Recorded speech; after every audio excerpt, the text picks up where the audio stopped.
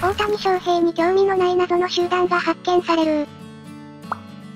ドジャースのキャンプ施設に大谷翔平投手29の通訳を務める水原一平氏の顔写真入り T シャツを着たファンが登場した。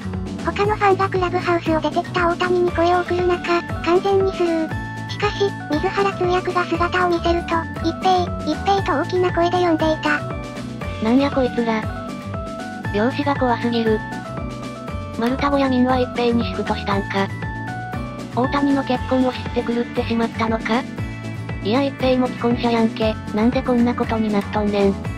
一平って高身長で顔も整ってるし普通にハイスペックだよね。ハイスペックなのは認めるけどこんな濃いファンがつくほどの顔かアメリカ人はそれだけ多様性に溢れてるってことや。丸太小屋民は永久に不滅。